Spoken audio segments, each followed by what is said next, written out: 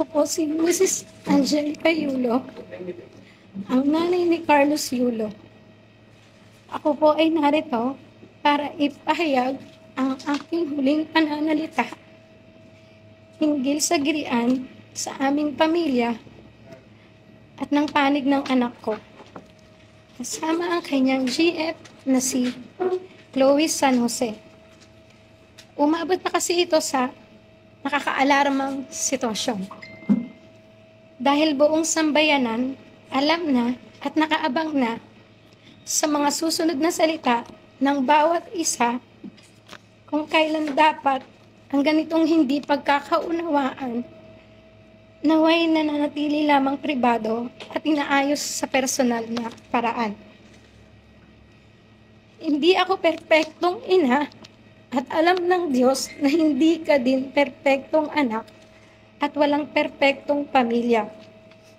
Walang ibang hangad ang isang ina kung hindi ang ikabubuti ng kanyang anak at sa bawat miyembro ng pamilya.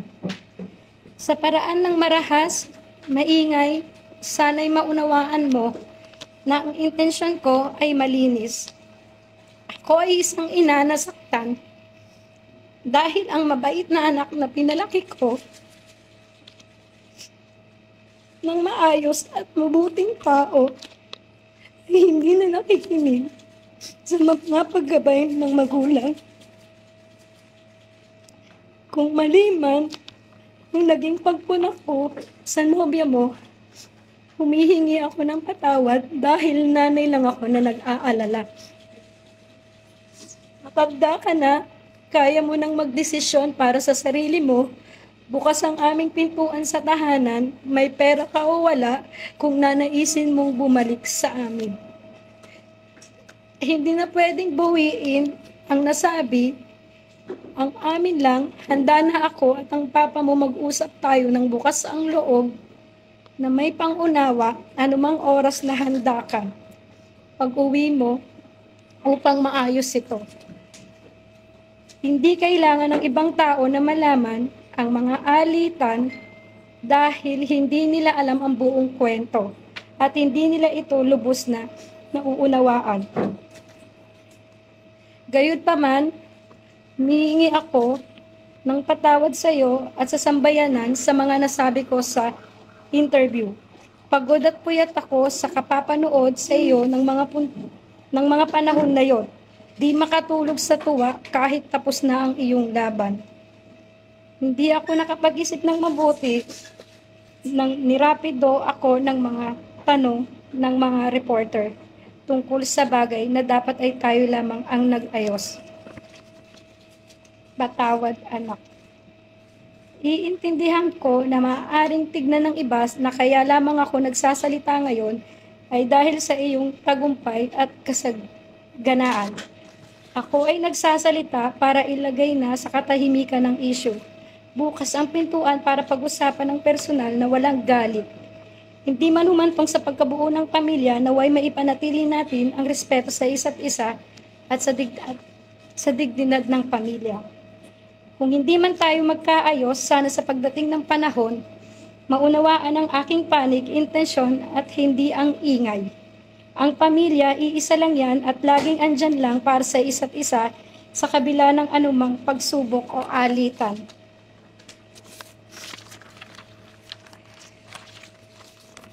Ito'y pilit nating unawain hanggang wala na tayong maisip kung hindi ang mag-ayos siguro. At sa sambayan naman, sana ay pagdiwang na lang natin ang tagumpay ng anak ko, gumawa ang anak ko ng kasaysayan para sa ating bansa. Lahat tayo ay magpasalamat kay Kaloy para sa karangalang iuuwi niya para sa bayan. Sana pagkatapos ng panayam na ito, titigil na ang lahat at matatahimik na ang bawat partido. Ang mga sugat ay kusa namang maghihilom sa paglipas ng panahon. Pero piliin naming humilom kami sa pribado at mapayapang pamamaraan. Kaloy, congratulations iyong tagumpay. Mahal na mahal ka namin lahat.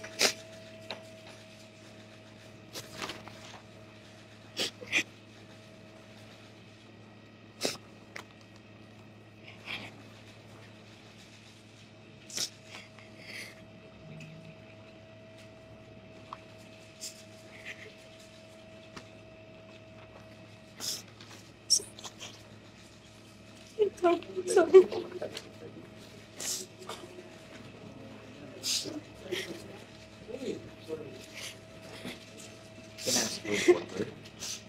Sorry. While, while, while she's composing herself, okay, Tony Raymond, uh, with humble apologies, could you kindly repeat what you said earlier for you give way to his statement? Just lang, mga snippets. I'm, I'm representing Mrs. Yulo for free. I'm doing this not for myself.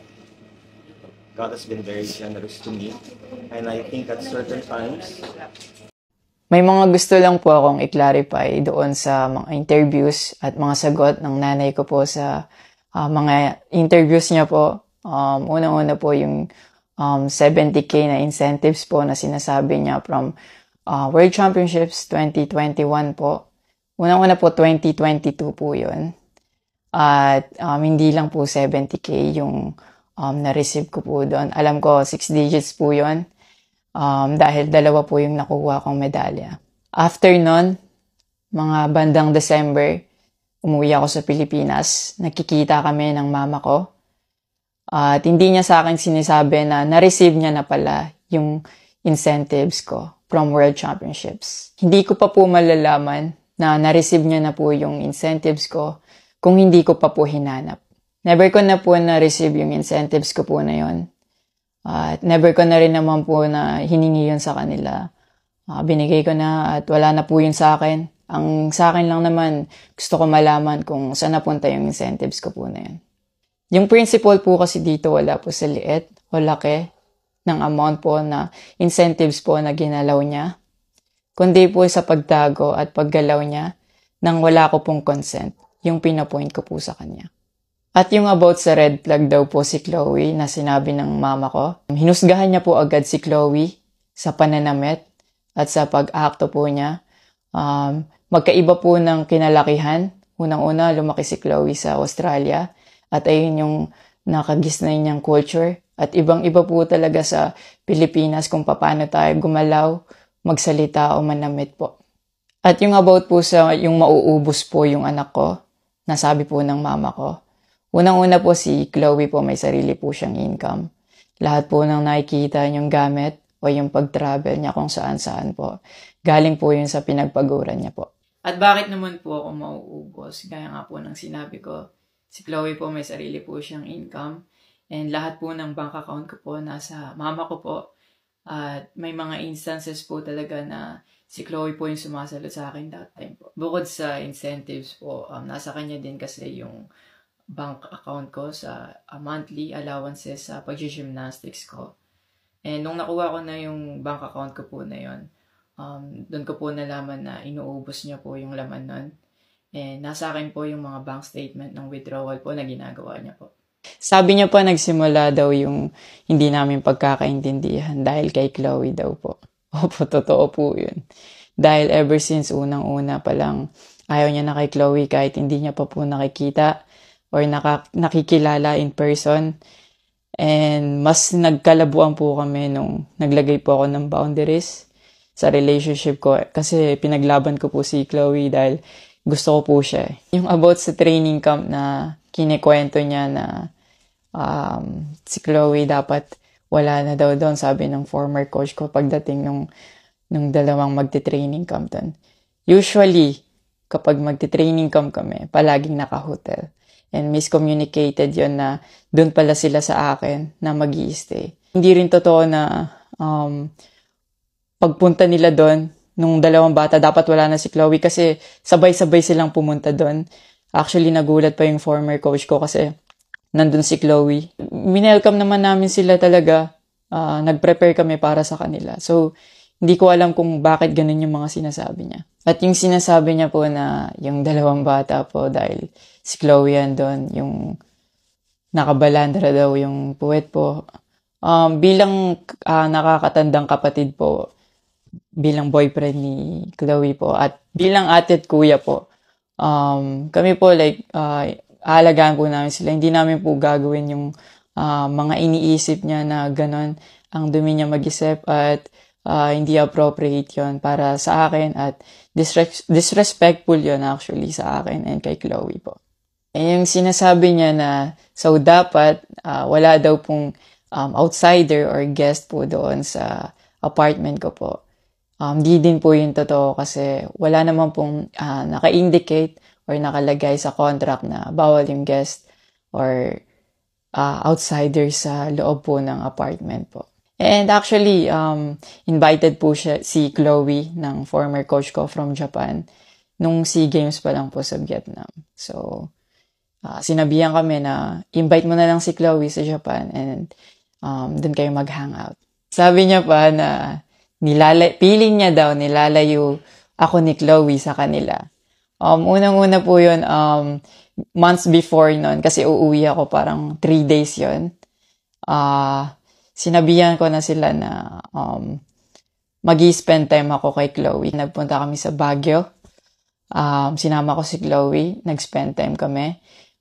Nakikipaghalubilo naman po kami. Hindi naman ako nilalayo ni Chloe. Actually, pumunta pa kami sa sa Pangasinan. Like, nakipag, ano po kami doon, parang meet and greet. Yeah. Tapos after nun, nagpunta tayo ng Baguio. And then, ikaw pa nga nag-aya na ano, na yung sa bike. Yeah, nag-bike Because we didn't tayo. know what to do Yeah. after nung kumain because they were like, oh, what do we do? I was like, oh, let's go sa Burnham Park Yeah. so that we can take the little kids to go biking. Yeah. So I'll just attach a screenshot of me saying sorry at that time if they felt left out when we were all hanging out sa Baguio. So you guys can just pause and read. Actually, nagkita po yung mama ko and yung family ni Chloe twice po.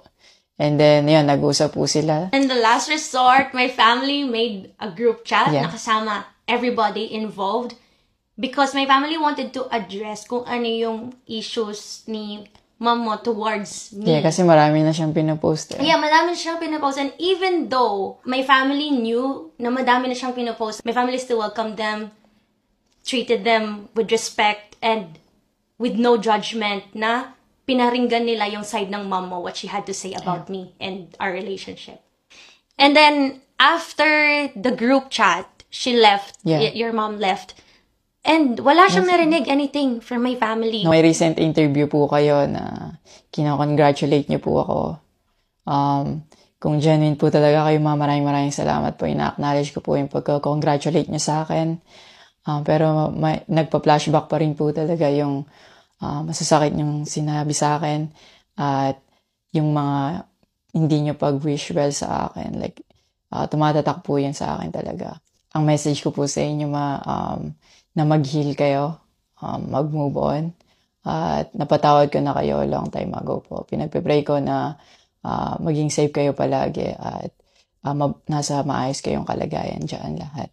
Tigilan na po natin to at ah, i-celebrate na lang po natin yung mga ginawa po ng paghihirap, pagsasakripisyo ng bawat atletang Pilipino dito sa Olympics.